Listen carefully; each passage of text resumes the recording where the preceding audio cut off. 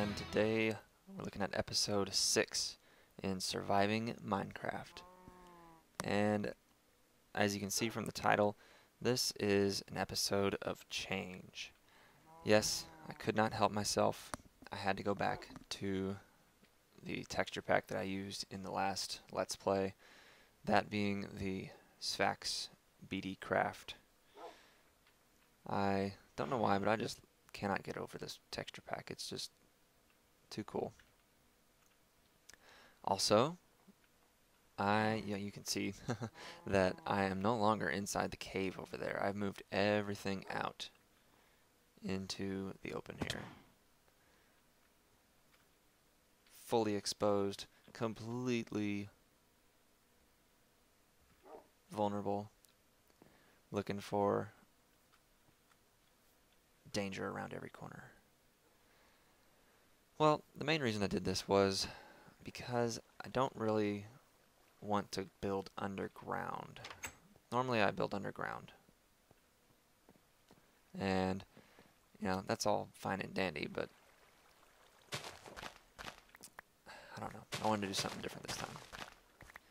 And so since I'm going to build my main house or base you know, above ground, I figured I might as well move everything else out from the cave as well. The only thing that is inside the cave are the reeds and the wheat, which I really don't have much use for at this point anymore. They're just kind of there for safekeeping.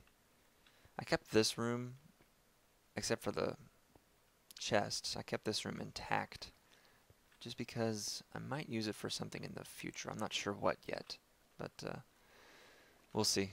We'll revisit this at a later date, I'm sure.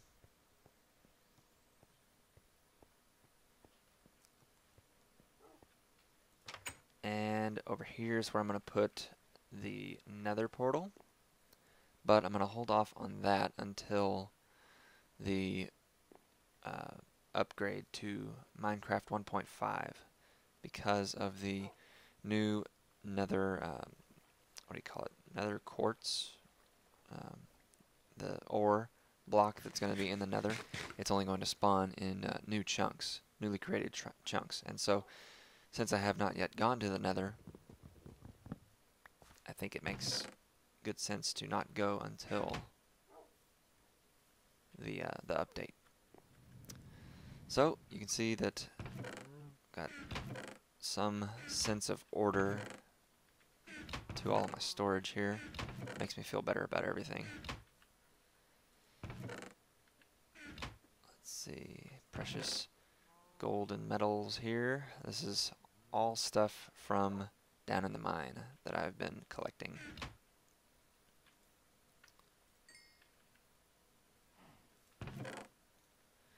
So you can see that I have been very busy, very busy with digging. But fortunately enchanted tools make a huge difference. Currently I've gone through one unbreaking 3, efficiency 3, efficiency 3 pick, and then almost three quarters of the way through another efficiency 4 pick, and it's just crazy fast digging with an efficiency 4 pick. So let me see where I can store this stuff real quick. Uh, nope. Wheat goes over here. I uh, just went on a killing spree with the cows here. They were getting to be a very annoying, so I had to thin the herd a little bit.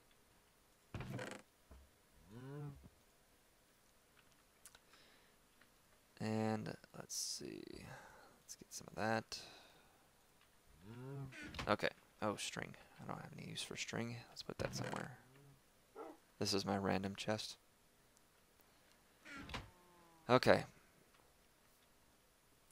Now, I do still like the, the Faithful texture pack, the Faithful 32. So I might go back to that for one or two episodes. Just depends on which mood I'm in, which mood I'm in. But uh, for the most part, I think I'm going to stick with this Sphax Purity Pure BD Craft texture pack. It's just too cool. Too cool in my opinion. Okay, so let's go downstairs and I will show you guys what's been going on. What what the that needs to be fixed. Looks like a Enderman has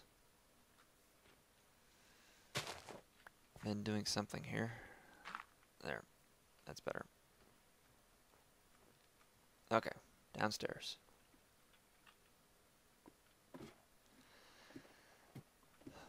Man, I have been uh, really digging. So I dug all four of directional shafts out, connected them on the edges and the corners, and then I've started digging out here.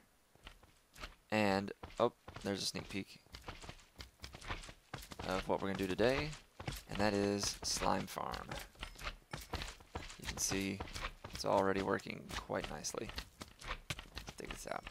Kill these guys real quick. Good grief, get out of here, guys. Come on. Oh my gosh, this is so productive. Wow. Is amazing. This is uh, two chunks worth of slime chunks. And it's apparently very lucrative. Uh, okay, let me kill these guys real quick so we can actually focus on something. Come on, quit this.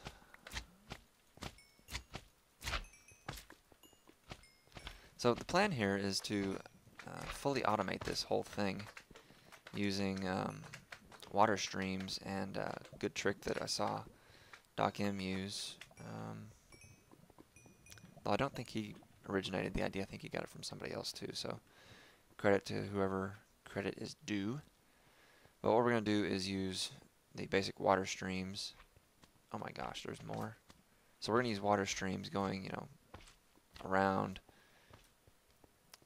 all the way around and we're going to push them basically down right here. We're going to drop them down into a hole and uh, let's see, drop them into a hole and then we can watch them go down here, maybe some glass underneath and they shall be transported I'm thinking back to, all the way back to here, at which point we can kill them and take their slime balls. So, yeah, that's the plan. And let me get some supplies together real quick, and then I'll kind of walk you through the basics of how to get started on uh, on doing this. See you in a minute. Stop the presses. This just in, we have ourselves our first potato, which means we can now start growing potatoes and using that as our food source.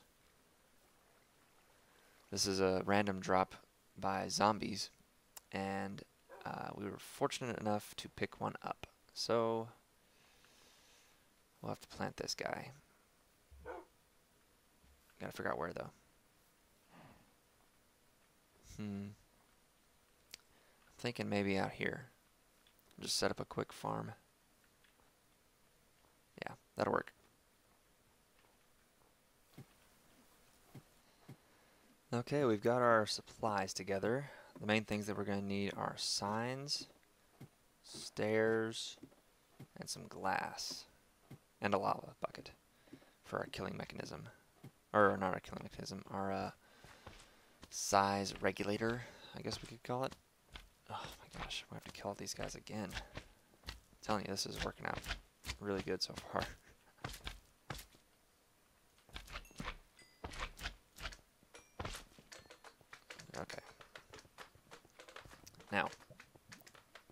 Let me see. Well, first off, let's have a way to get up. Yep. Come on. There we go. Now we're going to start knocking out some torches.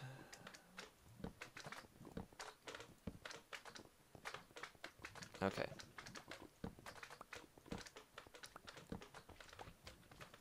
Replacing torches. Now the trick doing these things the right way. Oh boy. Is the corners with the water. You can see this slime farm is going to be very productive. I've gone through, oh my gosh, I'm so about to die. I've gone through and uh, lit up a bunch of the caves around here. So that's why that's why I'm getting such good production out of this already. And this is literally only two chunks worth. Actually got really lucky that this was so close to uh, the mine shaft. Like it's literally in one of the quadrants of the mine shaft. Okay. Oh my gosh. Go away. Go away. Almost. Okay. okay, now I can breathe.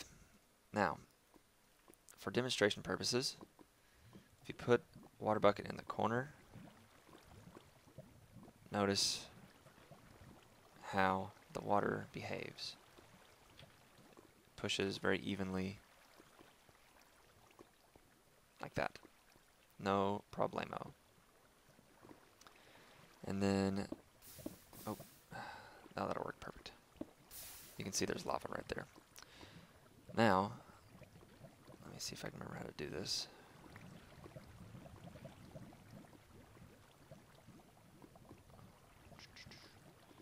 Where it stops, we have to dig a 3 by 3 little trench. So one, two, three, like that. Then we can place our stairs. Like, oh, not like that. Not upside down. This new stack, this new placing mechanism still confuses me sometimes. Like that, and then put our signs. One, not, gosh, not like that failure. One, two, and three. There. Now, we can see how it works. Flushes everybody here, like so. Now, to extend the setup, basically put one water bucket and two water buckets don't have to worry about the middle because there's a source block that's formed. Go all the way until it stops for eight blocks. And then dig the 3x3 trench again. Then repeat ah, with the upside down stairs. Nope, not the upside down. Repeat with the regular stairs and the signs. Okay, so I'm going to continue this pattern all the way around to the other side, and I'll meet you guys over there once I'm ready. Okay guys, I want to give a quick progress report. So far I've got all the water in place. You can see the very beginning of it starts here. Goes all the way around. Lots of obsidian because of lava which I think I'm going to knock out and replace with smooth, smooth stone. I like, uh, or not smooth stone, regular stone. Um, I wanted to keep this place very uniform, clean. Brings it around the corner. And around this corner. And meets up right here. I'm going to have every slime drop down into this little pit which will then be carried off to the killing part, which will be underneath here. So let me set that up real quick and I'll check back in when I get that ready, ready to go. Okay, so we've got the killing mechanism in place. See that the water stream, I actually dug it back a couple blocks so that it would end right there. And this setup uh, basically uses one block of lava to cut the slimes down to size. Now, one key component that I don't quite have yet, but won't have until I go to the nether is these blocks right here need to be soul sand for it to work completely the right way. But I think I think I should be able to get by with with uh, just regular stone until, or for now at least. And then from there, once they get killed, they get knocked down to the bottom there where they get sent off and will end up back at my main uh, mining hub. So I'm going to have everything come up right here in the end. So you heard, you must have heard a, a slime bouncing around earlier. So let's go ahead and release him and see if we can test this out.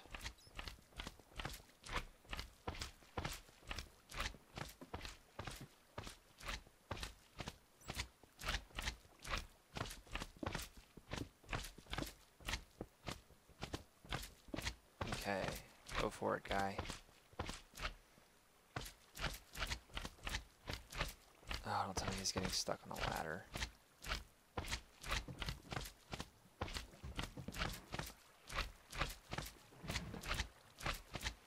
Okay, let's move all these ladders out of the way. There we go. Oh, oh, now we're gonna get stuck here with him. Okay, burning, burning. Good. Excellent. Let's see, we looks like we got a couple, maybe a couple of the uh, slime balls that burned up in the process. But I think the soul sand is what will take care of that. So, that's awesome. I'm going to go ahead and call that a success. And then, uh, next thing to do, of course, is hook up the rest of the water streams to get it flowing back uh, all the way to the mining hub. So I'm going to do that real quick, and I'll meet you guys back over there. Okay, guys, final progress report. I was able to hook up the water streams, just a basically a single continuous water stream using the same principle as we used in the slime farm machine itself with the stairs and the signs. You can see that slimes are going into the machine, little ones are not being killed, and they're going on their merry way. And here's a bigger one. This one should get cut down to a smaller size.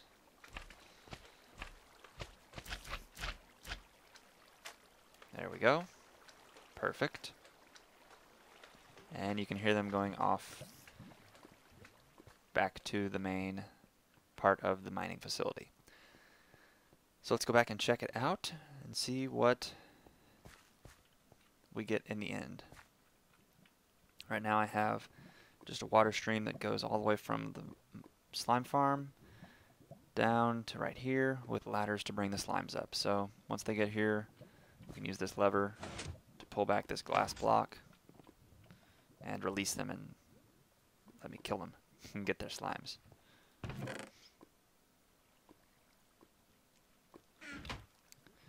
So far this has turned out really nice. I've done some, some initial testing on it and it's uh, it's been working pretty great so far. I think eventually I'm going to, once I finally start, or once I finally make my my house upstairs, I'm going to actually reroute this uh, upstairs to my house instead of instead of right down here. That way I can get the slimes from uh, all the way at my house. I don't have to worry about coming down here to get them. So let's see if we can get these slimes to come down here. I don't hear them anymore. I wonder if Maybe they died. We'll have to go down and find out what's going on.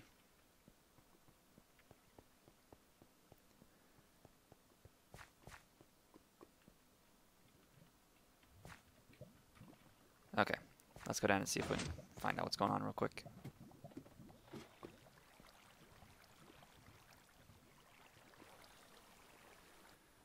Okay guys, I think I've got the slime transportation system up and running. Let's go see how it's working. And you can see I installed a water break, which does not work. Well, that's embarrassing. Okay guys, got the slime transportation system all set up, ready to go. They're coming from down at the slime farm. You can hear them in the system now. Underground, water transport lines, all the way to right here. So let's open this up and start reaping the reward. Oh man, they're everywhere. this is great. There we go. Oh, this is perfect. I have to make this a little bit more secure. Let's see. Let's put some actual stone there. There we go.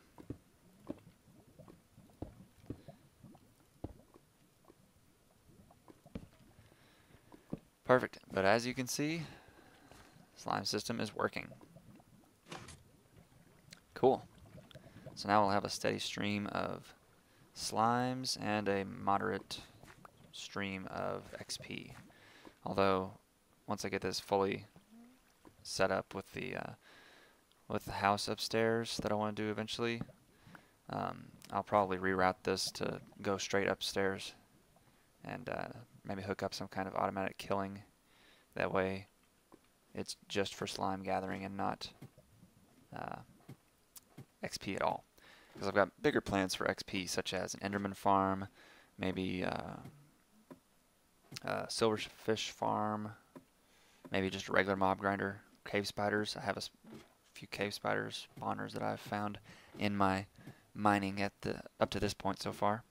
So there's lots of potential to get uh, XP.